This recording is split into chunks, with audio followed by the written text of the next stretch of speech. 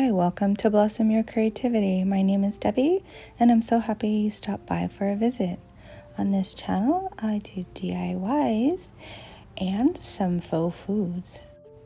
If this is your kind of jam, you're in the right place so we can be creative together. Now, if you like what I'm doing, please leave me a thumbs up, comment, and share. And if you haven't already subscribed, what are you waiting for? It's free.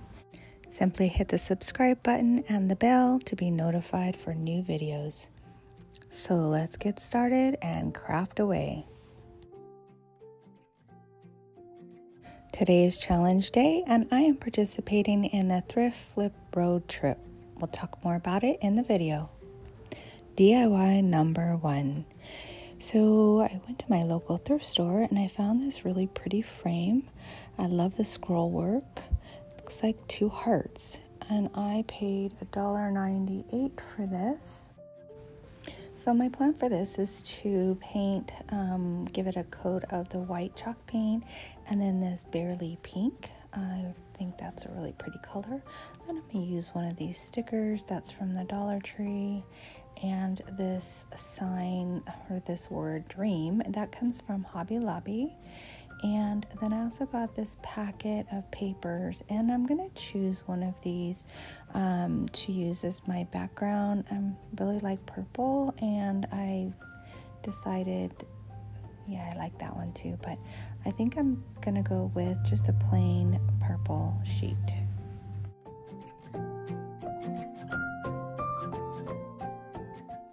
So as I was taking the frame apart, I noticed that the glass had these little um, plastic feet, I guess. Uh, they cover the corners just to make sure that the corners are protected so that the glass doesn't break. So I give that a, put it to the side and I'll give it a good um, cleaning. Now I'm going to go ahead and start my painting and again I'm going to use um, a coat of the chalk paint. I start off with that brush but uh, off camera I use a smaller brush to get into the little crevices um, that this bigger brush couldn't get into. Now I didn't like brush strokes so I eventually went back through and did like a tapping um, motion tapping uh, blotting motion um, so that you would not be able to see the brush strokes.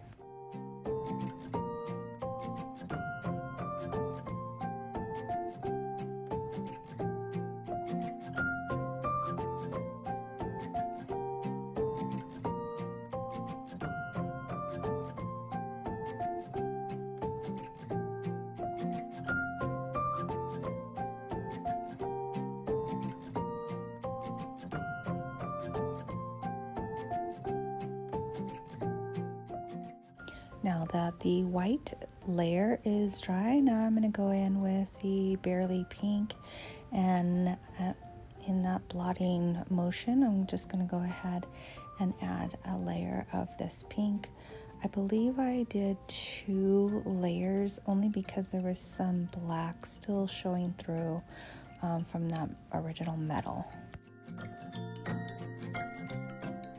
While that's off to dry, I'll go ahead and work on the insert. So I'm just taking the cardboard that was in the frame and tracing it with this paper that I'm going to be using.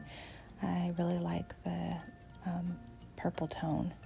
Now I'm just um, verifying that it's gonna sit right and I'm gonna use the hot air balloon um, with the flower. I really think that that's pretty and it goes with the same dream. Um, you want to dream that you're flying by and forgetting all your troubles.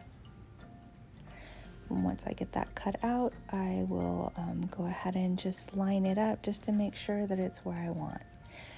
Now I just um, measured around the edge so that I can add this pretty ribbon that comes from the Dollar Tree and I'm just going to simply cut um, the pieces and then lay them in there. I'm going to cut at an angle so that my corners um, are matching up correctly.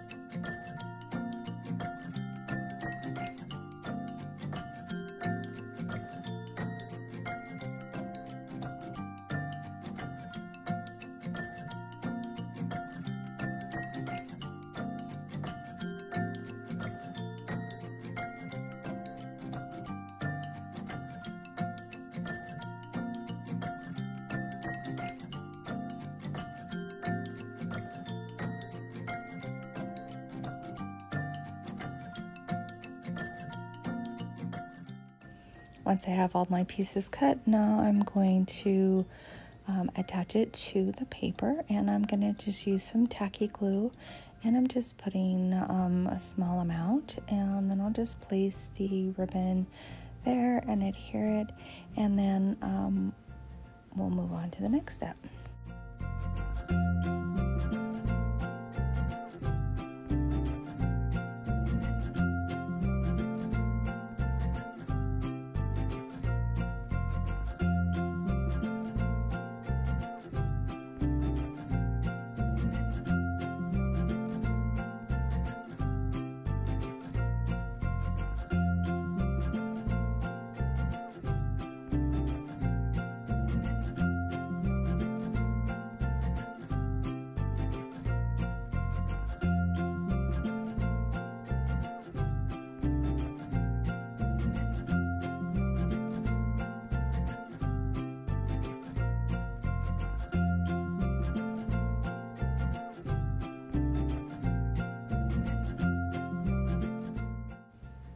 Now I'm ready to add my hot air balloon and I'm just checking to make sure I have the right angle and I'm just putting um, just a little bit of that tacky glue that I still had left over on my paintbrush.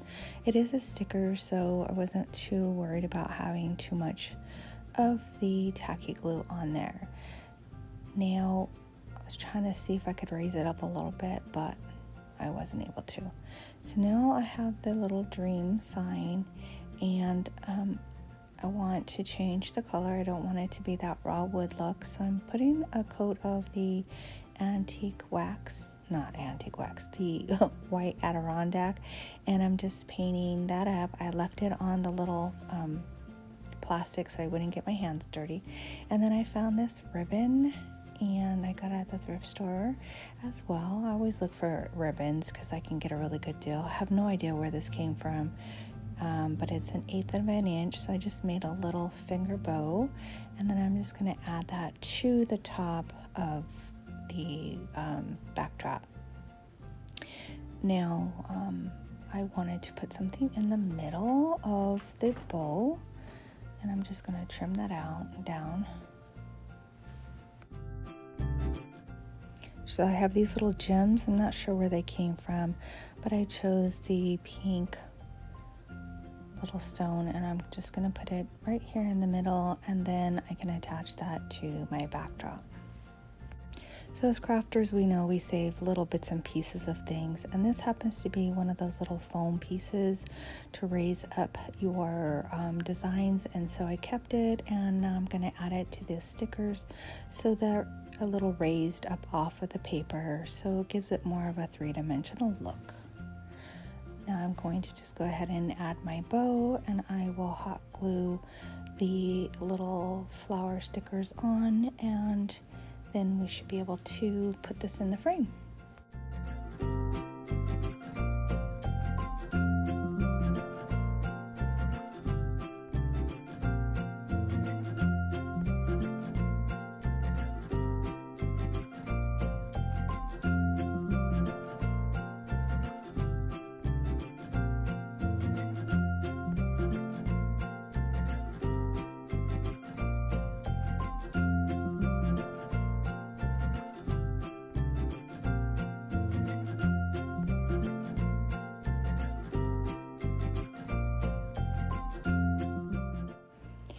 Here I'm just taking a quick little peek just to make sure it's lined up where I want it. Now I decided I wanted to put some flowers at the bottom and their color is coordinating with what's inside the frame. So I just was uh, making sure I had it lined up where I wanted it and now I'm just to put a little bead of hot glue and then just press down on those flowers. Now I have no idea where these flowers came from. They were in my stash and I shop all over the place, so I couldn't tell you where I got them from. But I thought it needed a little something um, down in the bottom, but I didn't want to cover the scroll work up completely, so I'm just trying my best to add these flowers without um, taking away from the scroll work.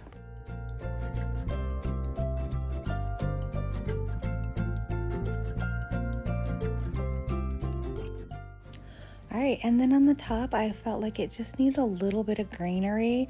So I had uh, this flower, I had these flowers, um, and I just pulled a couple of stems off of them.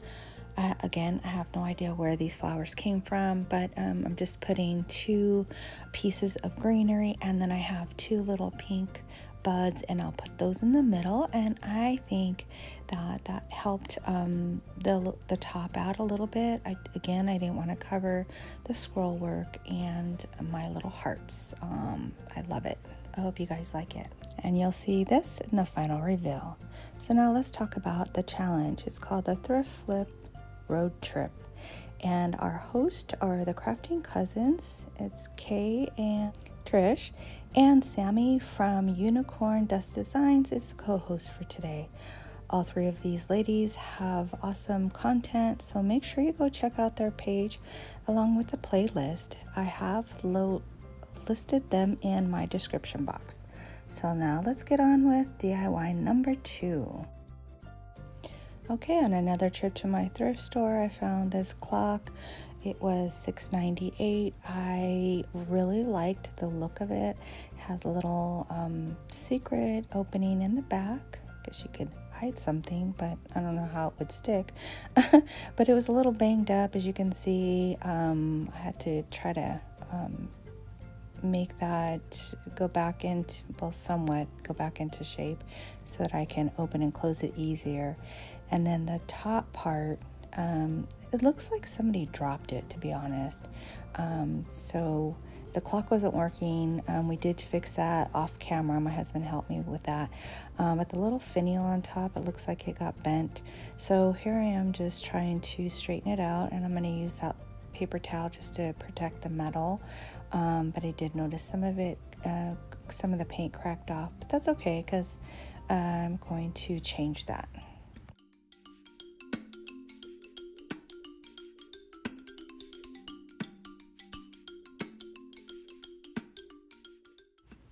Now I'm going to use these Dollar Tree rub-on transfers.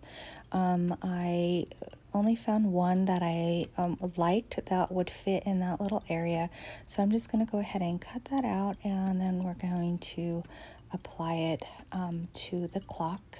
Um, and now I did want to mention that um, I'm cutting this out because in the past I've tried to apply um, the rub-ons, um, leaving everything intact, and I accidentally, um, you know, transfer the wrong thing.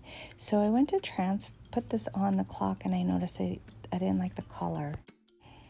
So off camera, I decided to try and paint um, just to see if that would help, and I think I like that a lot better. So I used the um, white Waverly chalk paint. I did a coat of that, and then I used this pale pink um, over that. And um, to avoid brushstrokes, I just simply tapped um, the paint on, stippled it on, I guess that's what you call it. And um, I do like how it, it, came out. It looks a lot better. Um, so then I just did a light brushing on the top finial part and at the bottom I'm going to do the same I don't want to cover it completely. I want some of the metal to still be showing through. Um, and there I am just um, doing the finial. And I'll also do the base and the feet.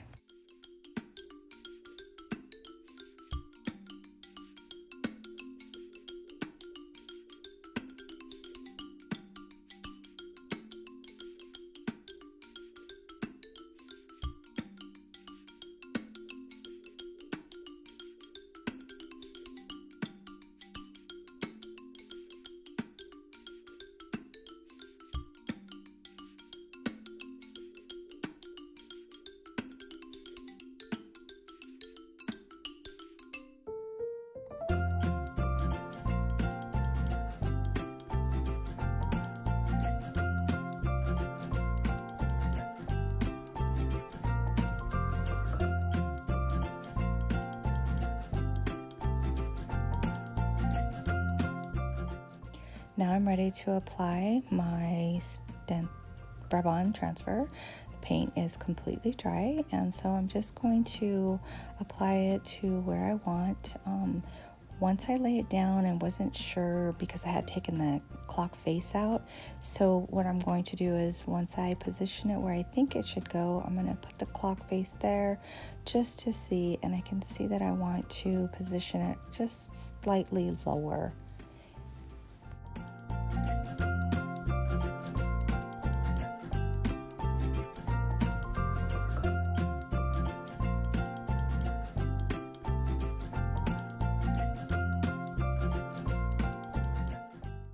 Now that I have it where I want, I started to use my fingernail and then I realized I'm going to need something else.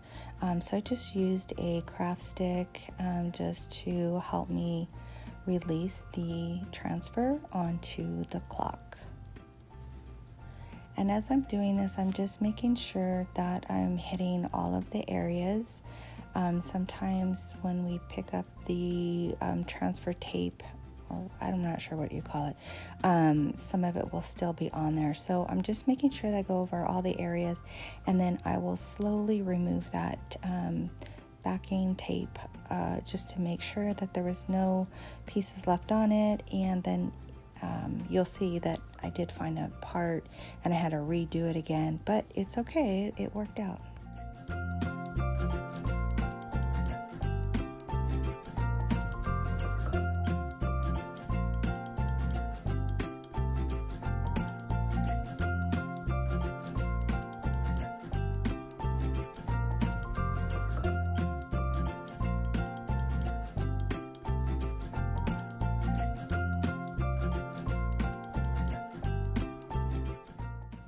Once I removed the backing, I just went over the um, applique with the backing just to make sure that it was all on there good.